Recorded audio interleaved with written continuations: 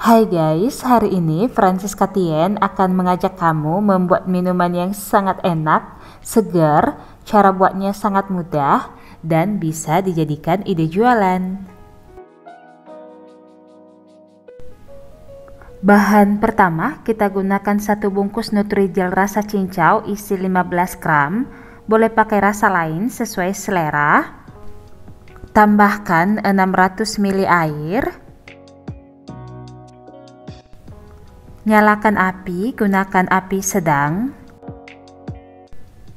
Kemudian ini kita aduk hingga tercampur rata dan mendidih. Jangan lupa tambahkan 3 sendok makan gula pasir. Lanjutkan aduk hingga adonannya mendidih. Jika sudah mendidih, langsung matikan apinya, lalu angkat.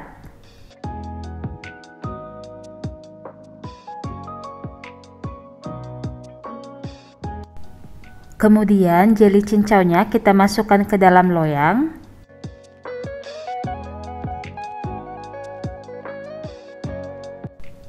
Tunggu hingga uap panasnya hilang, setelah itu diamkan 30 menit di lemari pendingin atau hingga set. Selanjutnya kita gunakan 1 sendok makan biji selasi, tambahkan 125 ml air panas atau sekitar setengah gelas. Lalu ini kita aduk hingga mengembang. Pastikan biji selasinya mengembang seperti ini. Ini kita sisihkan dulu. Jika jeli cincaunya sudah padat, langsung keluarkan dari lemari pendingin. Potong jelinya, di sini saya buat bentuk kotak. Buat teman-teman yang baru bergabung, jangan lupa like, share, subscribe, dan tekan lonceng notifikasinya agar tidak ketinggalan video terbaru dari kami.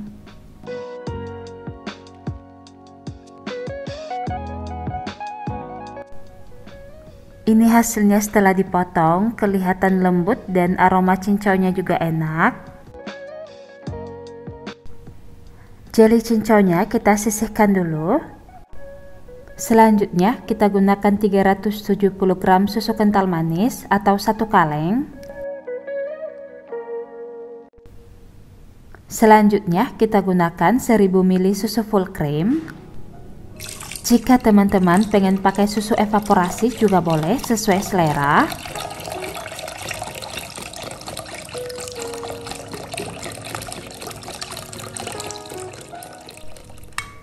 Setelah itu, aduk hingga tercampur rata.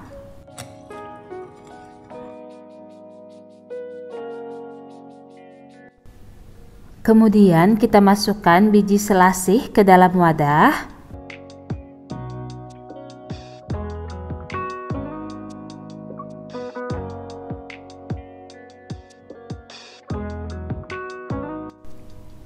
Selanjutnya saya gunakan 800 gram buah melon ini sudah dipotong-potong kecil. Boleh menggunakan buah lain sesuai selera.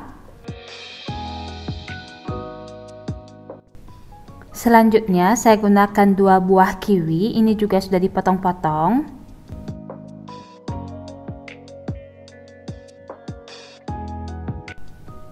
Selanjutnya saya gunakan 1 kg buah naga.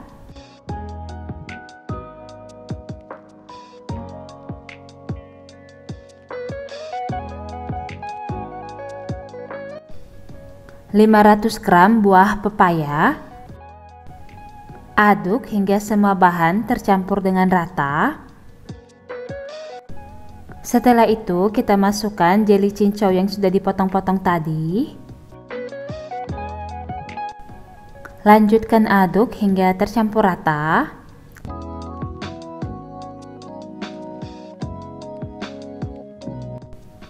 Tambahkan secukupnya es batu agar minumannya tambah segar.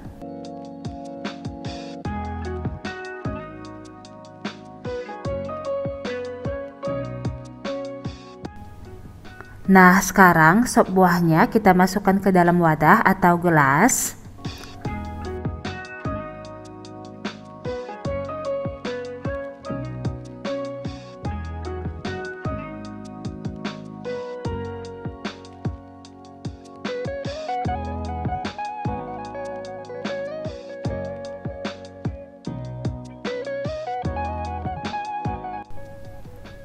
Sop buahnya siap untuk disajikan.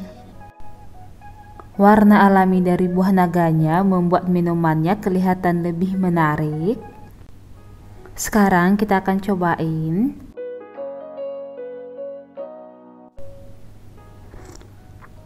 Hmm, ini enak banget. Segar, tekstur minumannya lembut.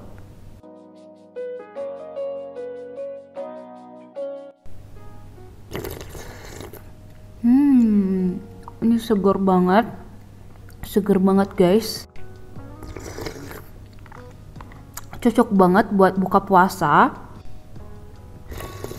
Hmm, enak banget.